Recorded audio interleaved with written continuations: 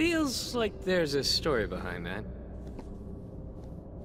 My allies and I set out to rid the land of chaos. But the journey took its toll. One by one, we fell, until only I remained.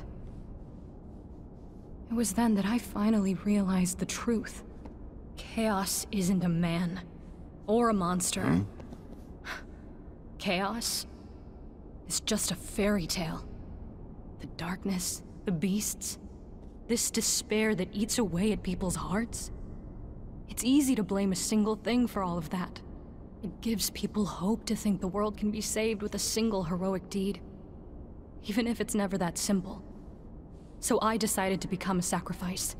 I offered myself to the darkness and prayed to become chaos, hoping some band of heroes would defeat me and thus bring an end to this empty dream.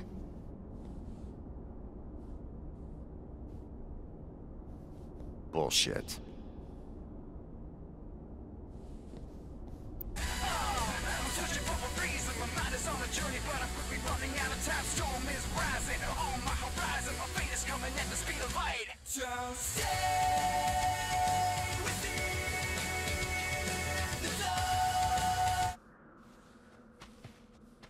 He's out there.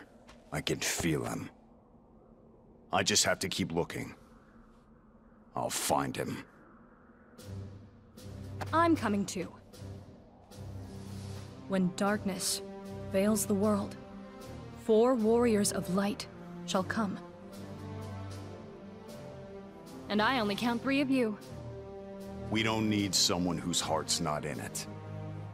Then show me chaos. Do that, and I might even start to respect you. Deal.